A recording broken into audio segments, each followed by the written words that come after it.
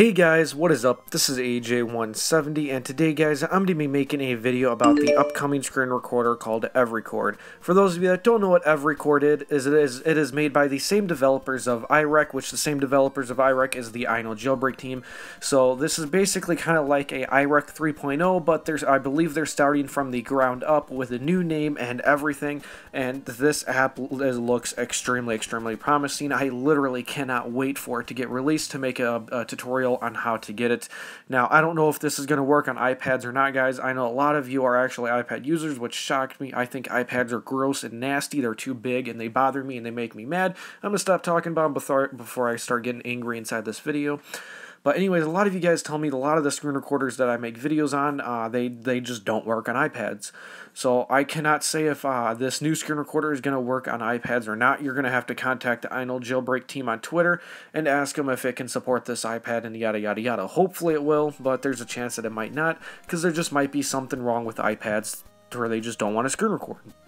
But yeah, anyways guys, so before I start this video, I just wanted to say a couple more things. If you're wondering how I got the beta, the reason why I'm one of the beta testers is because I'm one of the reasons on why this app is getting released to the public. I'm actually getting it signed by Tutu like a lot of the other apps I've gotten signed. I've gotten AirShou signed, Photoshop signed, Aero TV signed. I'm pretty sure there's a couple more I've gotten signed, but I'm, I'm not 100% sure on that. But anyways, guys, I'm getting that signed, so then all of you, uh, all of you other guys can actually get this signed or downloaded, whatever. Tomato, tomato. But a little bit of history on this app before I start this off. This app was originally going to be called MegaRec, but that has changed to EveryCord, and it was also originally going to be a website like Vidyo. Uh, if you guys don't know what Vidyo is, go ahead and check out my video on top 8 ways to screen record. Just go ahead and search AJ170 screen record on YouTube to find it. But yeah, they were originally going to do that, and I tried convincing them to actually make a native app, but no luck on there. But thankfully, they've actually decided on their own to make a native app, because I'm more of a fan of native apps. I, I that's just how I am.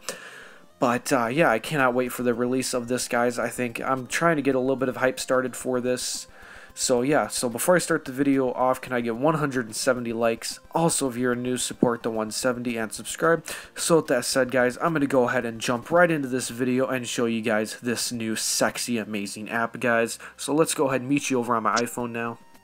Alright guys, please do remember that this is inside of early, early beta, so a lot of things will change. A perfect example of that is the icon right there will be changed, guys, and there could be more actually changed. So let's just go ahead, and when you guys first open up the app, it should actually look something like this. So let's go ahead and look at the settings. There's dark mode, so if I just go ahead and change that to light, double click the home button, force close the app, let's go ahead and reopen it, and as you guys can see, the black bar on the top has gone, and it looks more like the iOS settings. So as you guys can see, there's a bunch of settings right here, guys. I'm not going to read them out loud, you guys can read them to yourselves. So you can change the resolution, the FPS, which is 60 FPS, which is extremely rare. I believe this is one of the first screen recorders to offer it no jailbreak. You can even change between microphone and device audio, can change the uh, sample rate, and even if it's stereo or mono, which is absolutely amazing. More settings than what what video had. And if we go ahead and look at the uh, extra info settings, it shows the three developers of their the version, and you can even check for updates directly inside of the app. Now, I don't know how that's going to work with Tutu or not, but you guys want to screen record something unique is you have to name it. As soon as you guys name it, uh, you're going to hit enter, and what's going to happen is, is you should see a something that looks like this. And after doing this, uh, with me, it changed like basically on whatever settings I had, the longer this showed. But normally within 30 seconds of this being up, this little screen right here is going to automatically kick you to the home menu, and it's you're going to see the red bar, and it's the, so you know you're going to screen record. If you guys go ahead and look at the picture right now, see the red bar on the top, as you guys can see, it says EveryCord right there, meaning that the screen recorder is actually recording. And if you guys look at EveryCord in the bottom right hand corner, it even, even has a 1 as if it's got a notification while you're recording to even show you you're recording again, which is really, really cool. I have never, ever seen a screen recorder do that. I, I don't know, I, I like little things like that. It, it's just something that amazes me when you see little things like that. It gets me all excited. But uh, yeah, so as you guys can see inside of the next screenshot, for when you guys want to stop the recording, you open the app up and hit done, and you guys are going to come up with this confirmation to make sure you don't you don't accidentally stop your recording. This is really really good for people that have slippery fingers or whatever the case might be.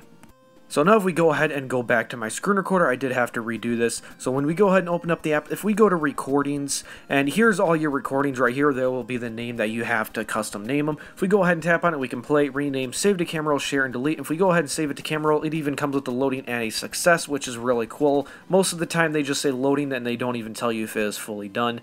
And if we go ahead and hit share, guys, you can even share it directly to an app. And then you guys can delete it from here, or you can even rename it again in case you need to rename it. So I'm going to go ahead and rename it Potato.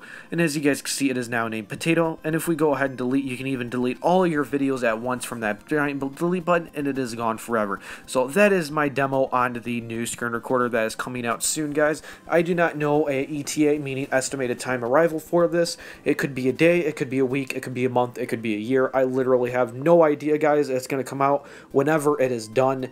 Uh, the developers never really told me what, uh, really a timeline on when this could come out, possibly. I didn't even know the beta was ready. I was just like, boom, here's the beta. And I was like, hell, sweet, nice, man. So, uh, yeah, I mean, I'm really excited for the screen recorder. I think a lot of you guys are going to love this screen recorder. I mean, I cannot believe how many options it has. There's literally so many options. I mean, these, these people know what they're doing when it comes to coding. I can't believe there's that many. But uh, yeah, that is going to be just about it for this video, guys. This is AJ170 signing out. See you guys next time.